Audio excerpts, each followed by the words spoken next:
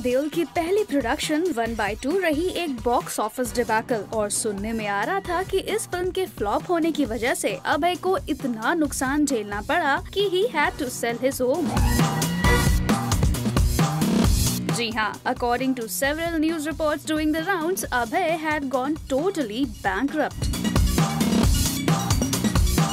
लेकिन रिसेंटली एक वेबसाइट को दिए इंटरव्यू में अभय ने ये क्लैरिफाई किया कि उनके बैंक होने की रिपोर्ट्स में कोई सच्चाई नहीं। Abhay says that article was a complete lie I would like them to prove a word of what they wrote I believe there are two kinds of journalist one who sells a story by being creative and one who sells a story by being sensationalist what was shocking was the extent to which they fabricated things to sensationalize their story. They even tricked me into giving them a quote. A few journalists within that paper are giving it a bad name. Well, good to know कि all is well with Abhay's finances. But will he produce another film? ये देखना काफी interesting होगा